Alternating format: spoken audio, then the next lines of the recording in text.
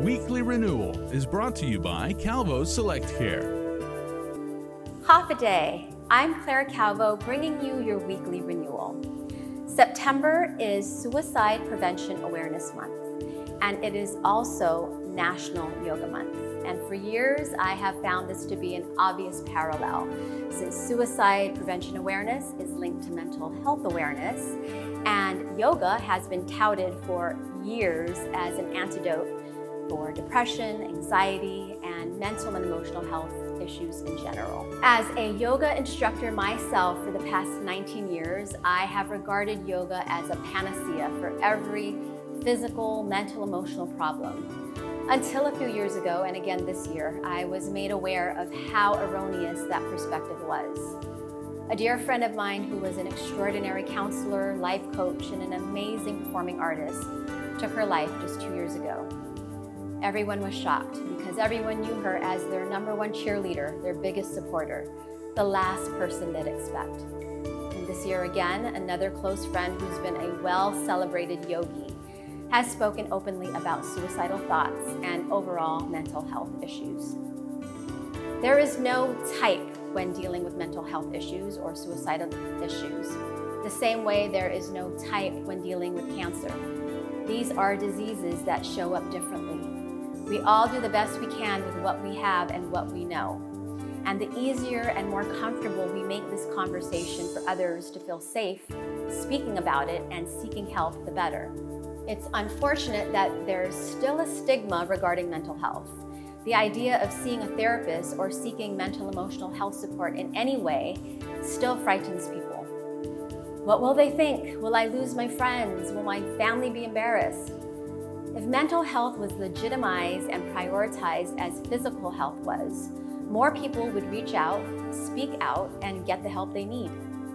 And although yoga has myriad benefits, and I've heard countless stories from members and friends and strangers over the years, the practice is not a cure-all. There is no magic pill for anything. And if someone tells you there is, be careful with whatever they're trying to sell you. Yoga for me has been one of many tools that I've used over the years. I also get counseling myself regularly. I take natural supplements, body work, energy work. Again, we do what we can with what we know. And although I am not a doctor nor a licensed therapist, I have facilitated fitness, yoga, meditation, detox, and wellness programs for almost two decades and have seen firsthand what a holistic health lifestyle can provide.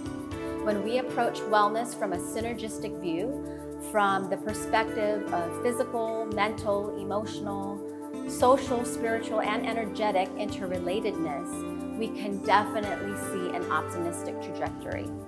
Although I personally have never been a fan of pharmaceuticals, I do understand that we are all different and we all have different needs. There is a need for some whose biochemical makeup is imbalanced.